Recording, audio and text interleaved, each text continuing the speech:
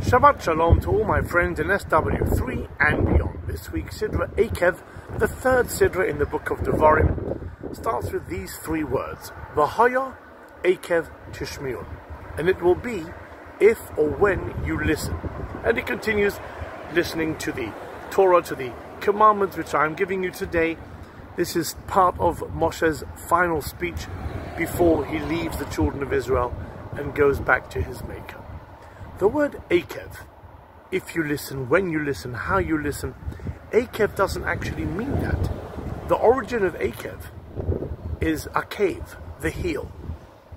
This brings us back all the way to the father of the 12 tribes, Yaakov, taken from the word heel, because Yaakov held on to the heel of Esav when he came out of Rivka his mother.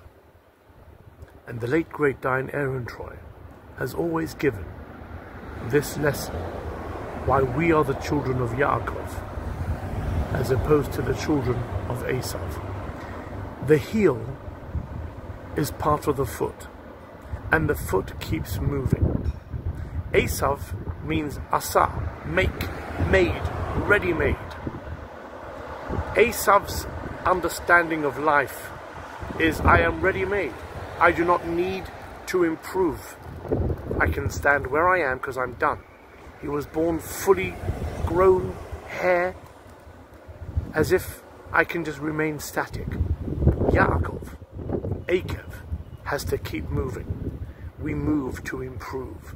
We move to improve ourselves, our lives, and the life around us.